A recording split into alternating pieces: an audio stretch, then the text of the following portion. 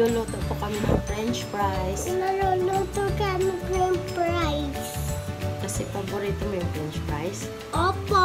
Kasi hindi po kami nakapunta ng Jollibee, kaya magluluto kami ng french fries dito lang sa bahay. Dito na lang sa Tsaka, bahay. ah, fresh po yung gagawin namin, hindi po yung frozen na fries. Tuturo ko po sa inyo kung paano gagawin ang fresh french fries.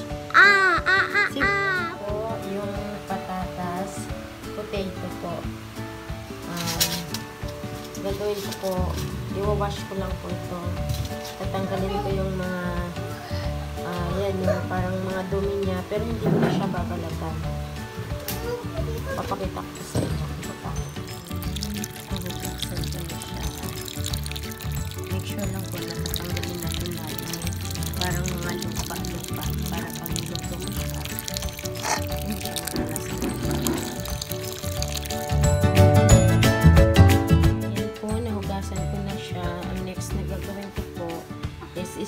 slice ko naman siya.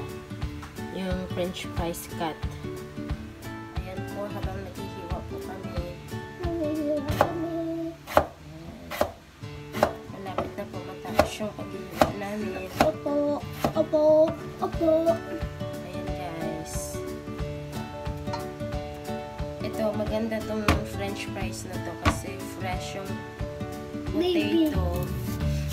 Tapos, hindi siya katulad ng mga frozen. Di ba pag frozen, hindi rin siya maganda kapag lagi mo siyang kinakain. Kasi meron na siyang ano eh, mga dinadagdag na mga preservatives.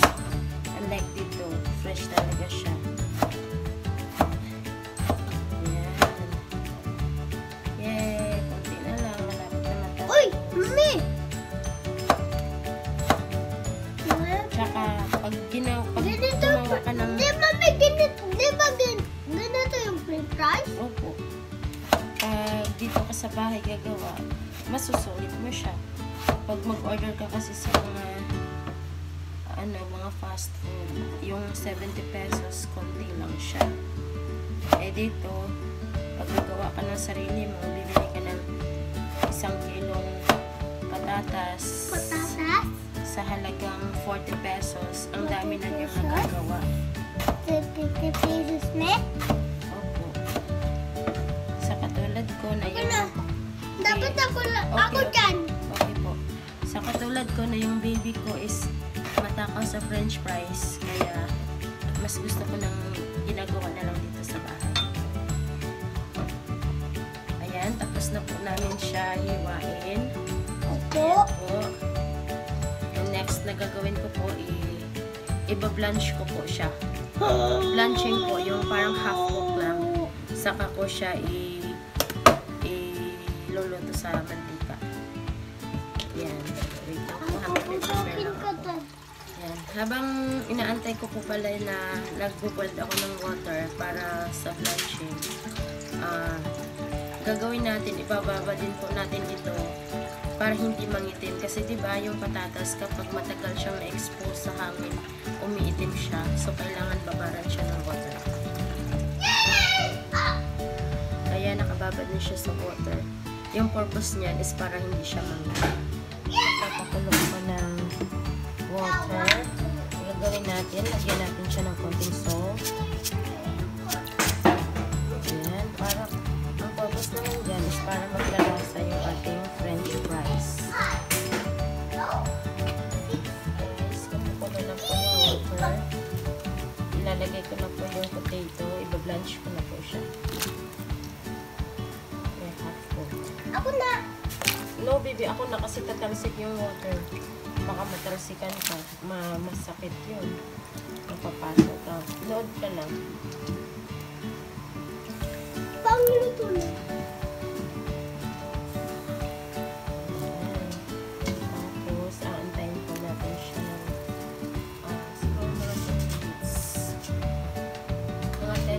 Po natin siya or i-check lang po natin yung wag naman masyadong malambot.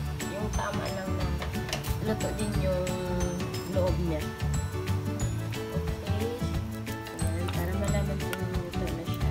Tapos natin po natin siya ng So, tama na siya. Ayan, tama na. Papatayin ko na. Papatayin ko na siya sa... Siya. At ililipat ko sa strainer.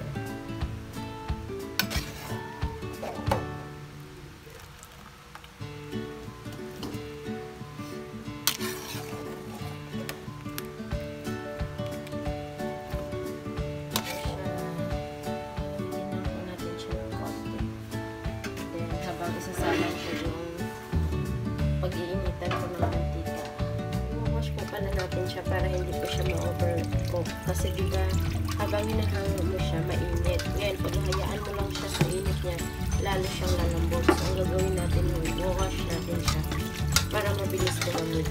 Nasa ganun hindi siya ma hindi siya lalambot ng gusto.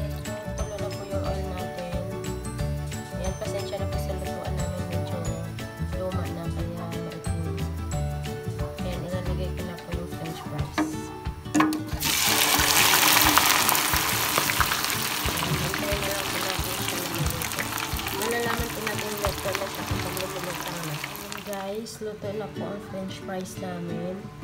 Ah, i-sprinkle po, po natin siya ng salt and pepper. And then, itutos ko po siya.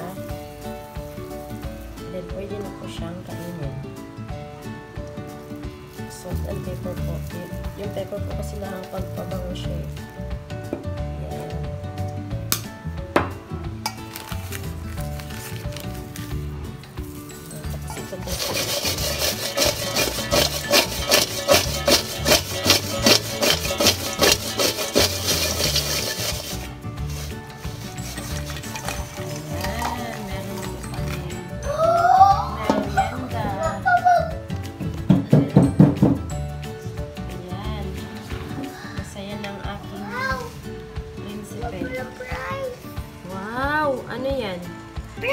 Fries. Sarap yan? Apa, wow. Sobra. Dahil marami naman yung nagawa ko. Pwede po siyang lutuin kinabukasan. Ilalagay lamang natin siya sa freezer. Kasi pwede naman siya hanggang tatlong araw. Kaya ayan po yung sobra. Iba-freeze ko po siya mamaya. Kain ka na? Mainit pa yan ha? Thank you so much po. Thank you for watching. Po. Ayan guys, luto na po. Magmimerienda na po kami. Yan po ang aming fresh french fries. Bigyan mo si Mami. Thank you for watching guys. Sana po mag-subscribe kayo sa channel namin. And marami pa po kaming i-upload ng mga videos. Thank you so much. Bye-bye. Bye, Umbo.